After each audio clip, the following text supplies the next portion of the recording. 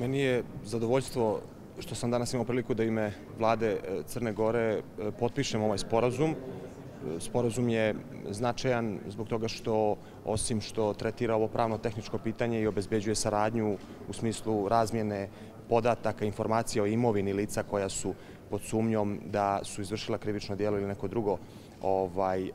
dijelo, odnosno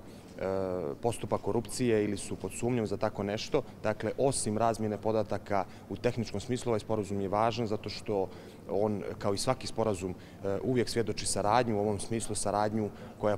počinje od tri zemlje, e, Republike Srbije kao domaćin ove konferencije, e, Sjeverne Makedonije i Crne Gore. Siguran sam, kao što je rekla uvažena ministarka pravde Republike Srbije, da će dakle, u budućnosti ovaj, ovaj sporazum biti e, potpisan, potpisano, odnosno da ćemo pristupiti i druge zemlje, pogotovo zemlje iz regiona. Naravno, uz želju, kako je rekao gospodin Joksimović iz Raja, da on postane i pan-evropski. Dakle, važno je da se, naravno,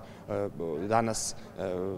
prosto konstatuje da je e, dogovoren još jedan korak e, efikasniji korak borbe, zajednički korak borbe protiv korupcije, u ovom konkretnom slučaju u smislu razmjene podataka, koji će siguran sam doprinijeti da se e, sa ovim, inače, i prekograničnim krivičnim dijelom i problemom i ovom praksom e, e, uspješno sve tri zemlje i uopšte sve potpisnice ovog sporazuma u budućnosti uspješno, odnosno uspješnije bore.